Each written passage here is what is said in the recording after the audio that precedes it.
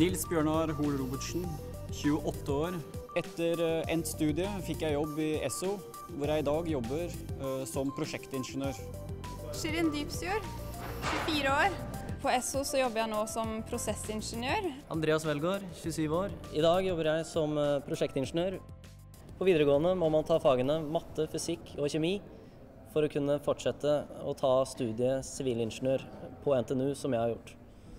På NTNU studerte jeg marinteknikk, som er eh, tidligere kalt eh, skipsbyggerlinja, der man lærer å konstruere skip og bygge andre marine applikasjoner som skal stå i vann, typisk havet.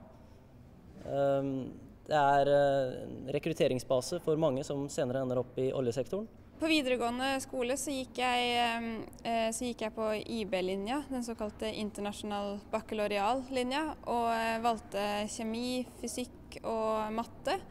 Eh, Og så eh, ønsket jeg å fortsette på det på universitetsnivå, og eh, valgte å, å gå på et studie som heter Chemical Engineering i England, på Aston University.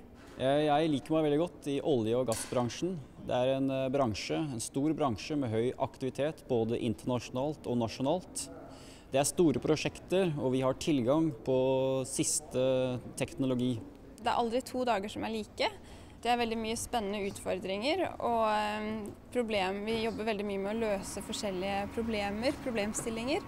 Jeg anbefaler eh, alle som er litt interessert i, i realfag, å, å ta dette videre. Eh, Det er i dag store muligheter eh, innenfor teknologibransjen i Norge, men også resten av verden. Eh, Vi har kjempemange spennende utfordringer som må løses. Og her er det, i tillegg til store utfordringer, også store rikdommer man kan ta del i. Vi trenger mange nye ingeniører for å, for å samarbeide, og vi har mange utfordringer i framtiden.